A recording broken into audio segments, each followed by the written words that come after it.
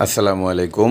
বন্ধুরা, কেমন আছেন আপনারা? আমি আপনাদের সাথে আজকে কই মাছের ভিয়েতনামি, কই মাছের কৃত্রিম প্রজনন হ্যাঁ পোনা উৎপাদন নিয়ে আলোচনা করব। দেখেন, এই যে হাতে যে কই মাছটি দেখতে পাচ্ছেন, প্রায় আধা কেজি ওজনের, অনেক বিশাল কই মাছ। দেখেন, কই মাছগুলিকে পুকুর থেকে সংগ্রহ করে এই টাঙ্কির মধ্যে রাখা হয়েছে এবং এই টাঙ্কি থেকেই নেট দিয়ে ধরে দেখেন, এই টাঙ্কি থেকে নেট দিয়ে ধরার পরে আপনাদেরকে দেখাচ্ছি।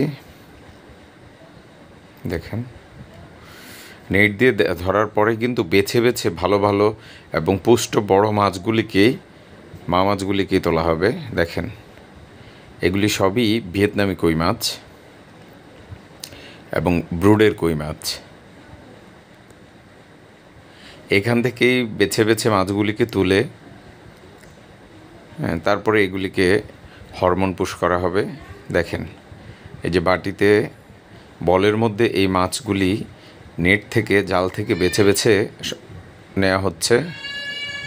এবং এই যে দেখেন, প্রত্যেকটা মাছই অনেক বড়, প্রতিটা মাছই অনেক বড় এবং প্রত্যেকটা মাছেরই পেটের দিক দেখেন একেবারে হলুদ।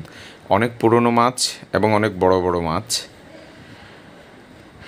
এবং এই মাছগুলিকে তোলার পরে এই মাছগুলিকে ওজন দিতে হবে, কারণ মাছের ওজনের উপরেই আপনার কতটুকু হরমোন দেওয়া যাবে সেটা নির্ভর করে।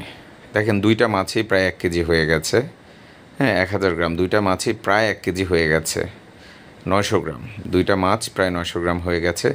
এখন এই মাছ দুইটার ওজন অনুযায়ী এর মধ্যে হরমোন পুশ করা হবে। দেখেন এই যে মাছে হরমোন পুশ করা হচ্ছে। বন্ধুরা, আপনারা যাদের কই মাছের পোনা লাগবে বা রেনু লাগবে, আপনারা স্ক্রিনে দেখানো নাম্বারে, স্ক্রিনে দেওয়া নাম্বারে যোগাযোগ করবেন। ভালো মানের, উন্নত মানের ভিয়েতনামি বা থাই, কই, কইয়ের পোনা পাবেন আপনারা। দেখেন, মাছগুলিকে হরমোন পুশ করে করে তারপরে বলের মধ্যে রাখা হচ্ছে আবার।